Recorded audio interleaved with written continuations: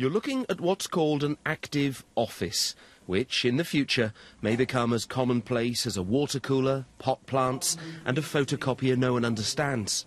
So I certainly feel better at the end of the day. I feel more supple, fitter, I wouldn't say, but you certainly won't have back pain.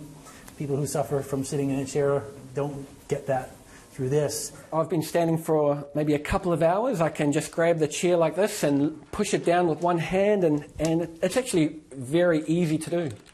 These sit stand desks that enable you to do just that are, researchers say, proving to be very good for you.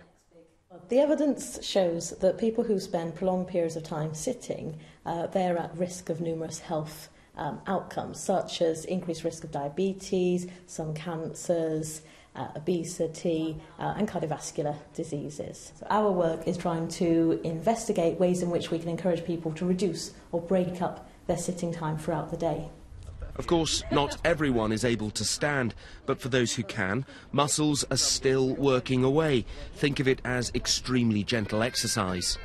In Denmark, companies have to offer workers the option of a standing desk. So far, the bulk of the research has focused on sedentary workers, people who sit down all day in offices, for example. But what about the workers of the future?